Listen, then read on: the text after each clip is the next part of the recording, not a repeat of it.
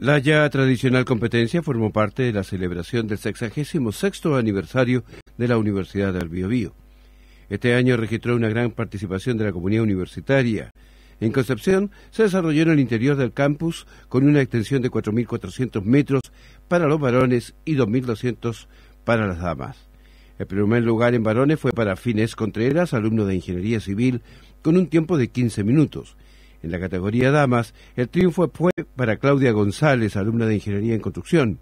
Ambos atletas valoraron la importancia de la gran carrera VB 2013. Eh, significó algo muy importante para mí, ya que soy primer, primer año entrando recién a la universidad.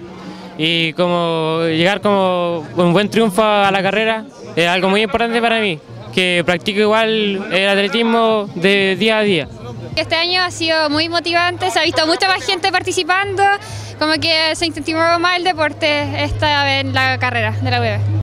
En Chillán, la gran carrera UBB se llevó a cabo en el campo Fernando May con un recorrido total de 4.600 metros, igual para varones y damas, con una participación de más de 500 atletas, alumnos, académicos y funcionarios.